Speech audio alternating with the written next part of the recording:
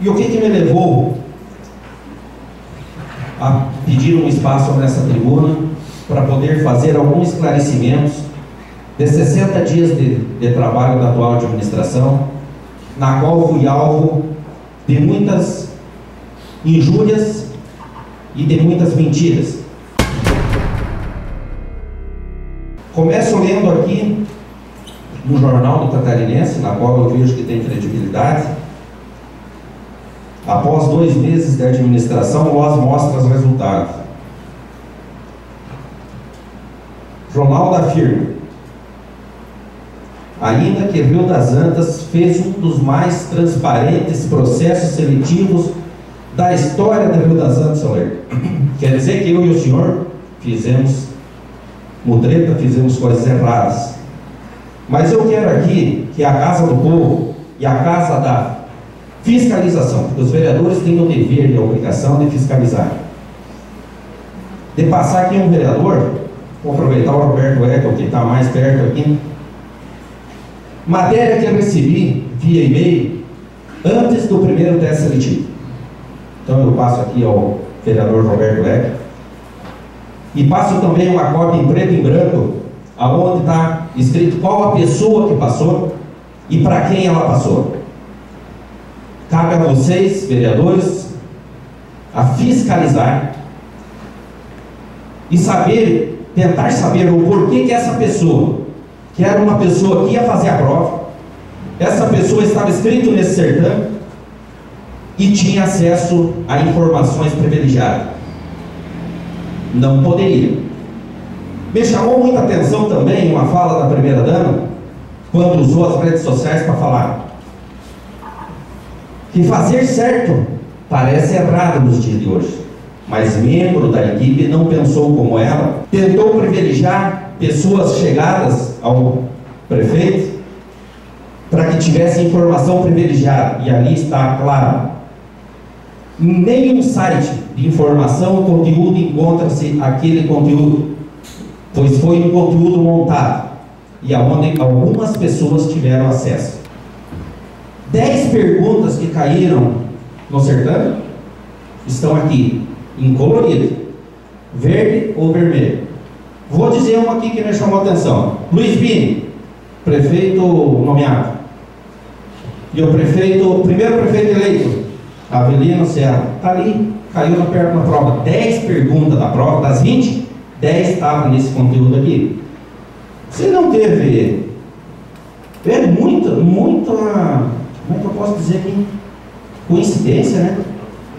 A pessoa querer ajudar um amigo com tanta informação privilegiada. E por que colorido? Isso é que eu não entendo por que, que o Ministério Público não tomou providência. Me também por ver, até fico feliz pela proprietária estar aqui hoje, proprietária do posto Guarnieri, na qual eu fiz a denúncia, porque eu, todas as denúncias que eu fizer eu vou pôr o meu nome embaixo, não tem por que esconder, do caminhão da prefeitura, secando a fossa do posto e da lavação. Resíduo esse que considera-se classe 1, podendo só empresas especializadas fazer a coleta. Isso é tarjetinha para um chegado meu na, na política? Ah, me ajudou na campanha com dinheiro, Voltou para mim, então vai lá o caminhão da prefeitura secar. Agora, jogar um caminhão de óleo e graxa, resíduos, que não pode ser jogado no meio ambiente, nós não podemos permitir, senhores vereadores, e eu como cidadão desse município.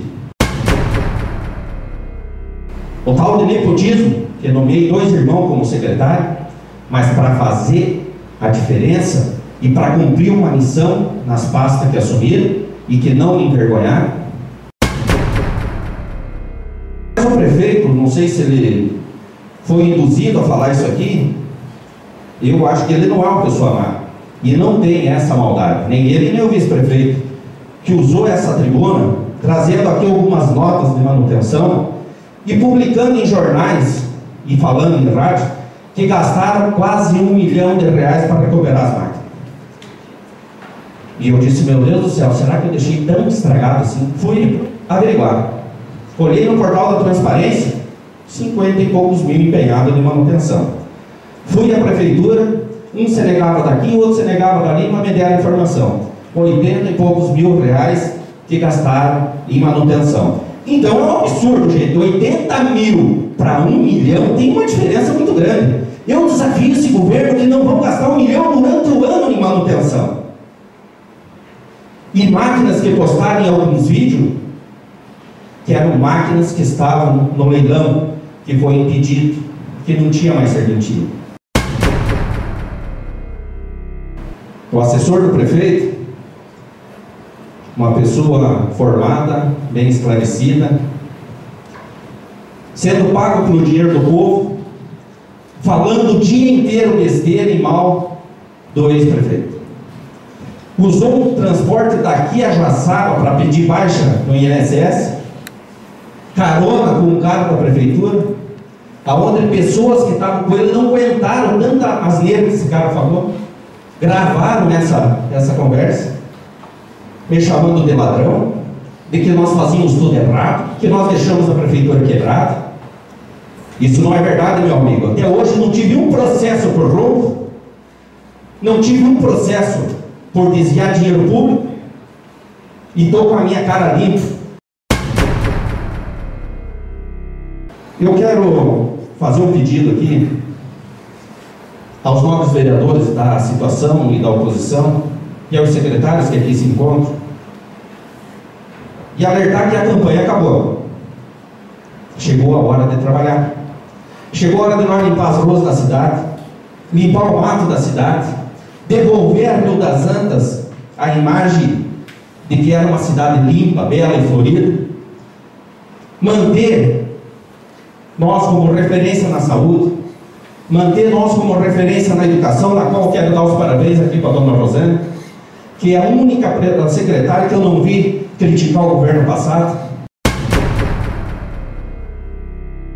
Que me chamou a atenção também foi um processo de licitação que está aqui, processo de licitação 09 de 2017, onde compraram combustível para a prefeitura. Vi arrancarem uma bomba do, da garagem, onde dava uma economia de meio milhão, uma economia de meio milhão de reais aos quatro anos de mandato do prefeito Ronaldo. E vou dizer o porquê. 100 mil litros de S10 foram pagos R$ 3,08. Nós pagávamos R$ 2,76. Foi comprado ou solicitado 280 mil litros de BS 500 a 2,90, custando 812 mil. Nós pagávamos 2,60 e a empresa me ligou dizendo eu faria por esse preço 2,60. Mas como o proprietário do posto é amigo e financeiro da campanha, tem que dar um jeitinho, né? Então esse jeitinho que foi dado aqui não condiz com o que a primeira dama falou nas redes sociais. 464 mil reais é o que a prefeitura vai gastar a mais comprando o, combustível nesse preço. Não me culpe pelas faltas de ação, porque eu deixei na prefeitura, tive o prazer de hoje conseguir os números, eu deixei na prefeitura um saldo de aproximadamente 970 mil reais em conta entre saúde e prefeitura, 1 milhão e 300 créditos para receber do governo do estado, que era para ele ter pago no nosso governo e não pagou. Isso somam 2 milhões 270 mil positivo nas contas da prefeitura. E tem mais 800 mil que já era para ter caído na conta da prefeitura, que é coisa da repatriação. Então, o ano fechou com 3 milhões e 70 mil positivo. Isso é mentira de quando diziam que não tinha dinheiro, que o prefeito, o ex-prefeito tinha a prefeitura quebrada, que nós fazíamos tudo errado. E eu vejo hoje que as ações não mudaram muito. Estão fazendo aquilo que eu fazia. Então quer dizer que eu não estava errado. Eu estou pronto para ajudar.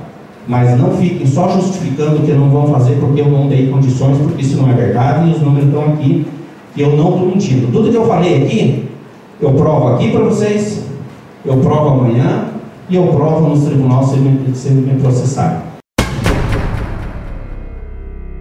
Concordo, senhor presidente, senhores vereadores, que o meu governo teve falha. Nós deixamos a desejar, a desejar em muitas coisas, mas também nós temos que concordar que foi um dos governos que mais conseguiu trazer recursos para Rio das Antas. Mais de 50 milhões de obras de investimento, de melhorias. As maiores obras da história do Rio das Antas foi executada no meu governo. Aproveitei bem o momento, aproveitei pessoas, não fiz distinção de partido, tratei todo mundo igual. E é isso que nós esperamos dessa atual administração.